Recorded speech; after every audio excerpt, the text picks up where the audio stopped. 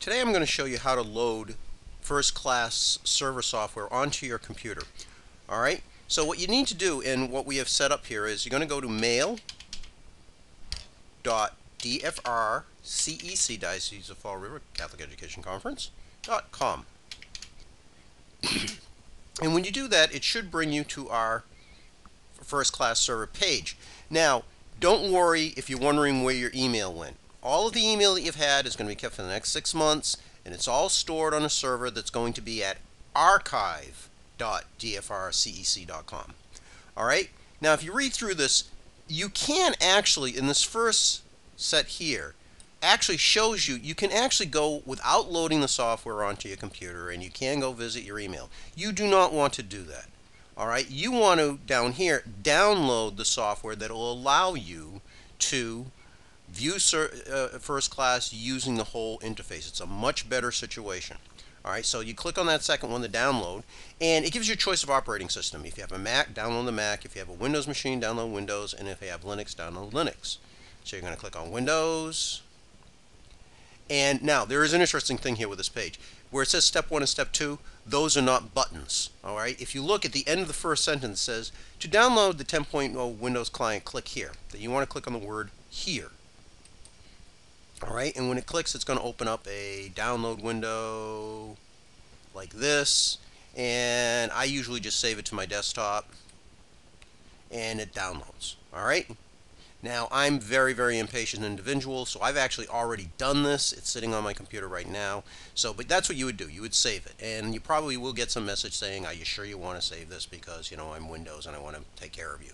All right, so what you're going to do is you're going to minimize the screen and then you're going to go to the download window right here and you're going to click on it and it's going to open up the installer. All right, now this is a fairly large file. It takes a little while. You're going to run it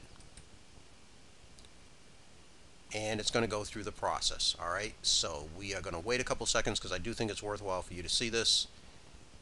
And it's thinking about it. There we go. All right, and it's it's it's installing it. All right, and it's going to go through these stages all right and you just click on next yes I agree approve now this first this question is something you might want to ask yourself most people at home that I know don't have separate logins from different family members um, it so it, it doesn't really matter what you put here if you do have separate logins and you only want you to be able to access the first class then you leave the first then you click the second button if you don't care, let's face it, you're not going to be giving out your password, so you probably don't have to worry about your family members.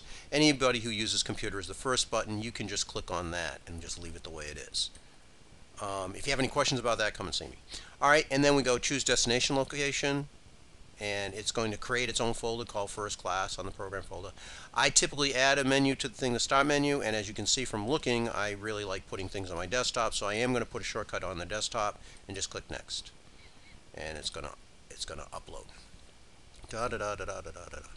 All right, and it will probably open actually.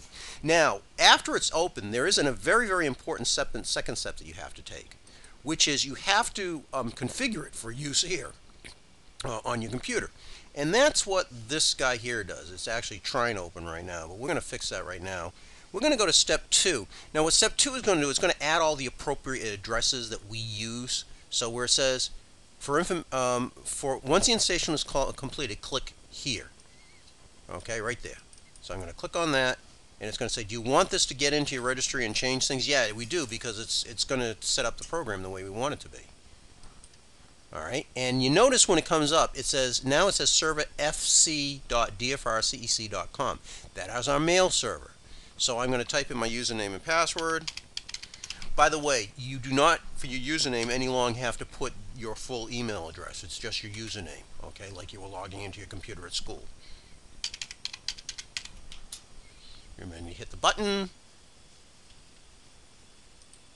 Uh, there we go, and it's busy trying to load in.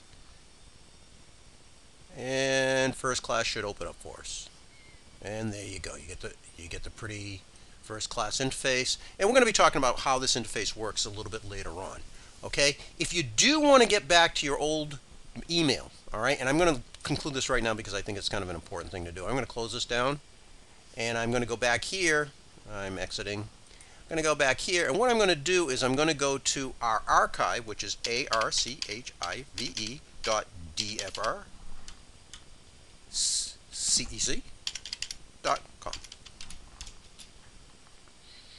And that brings you to your old server. I'm hoping this works, I assume.